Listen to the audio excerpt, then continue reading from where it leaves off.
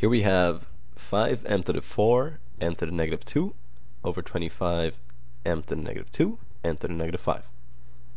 So let's get started. And right away, I'n actually going to combine the m's and the n's together.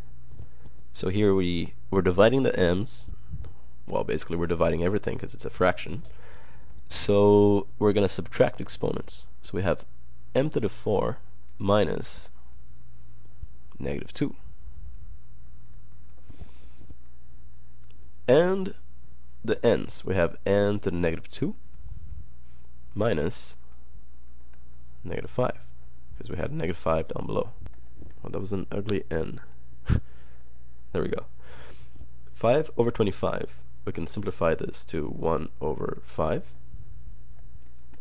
So here at the top we just have a 1. I won't even bother writing it. And 4 minus negative 2 will be 6, because that's equivalent to 4 plus 2, times n.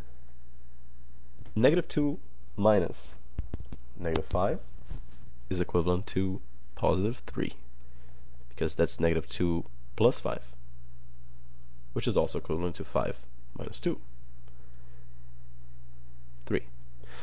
All over the 5. So that's also equivalent to 1 fifth times m to the 6 n to the 3. But I prefer to answer like that. You can ask your teacher how he prefers you to, to really answer this um, this question. Anyways, so here we have 32 x to the 7 y to the 7 all over 4 x to the negative 2 y to the negative 3. So again, I'm going to right away combine the exponents of the variables.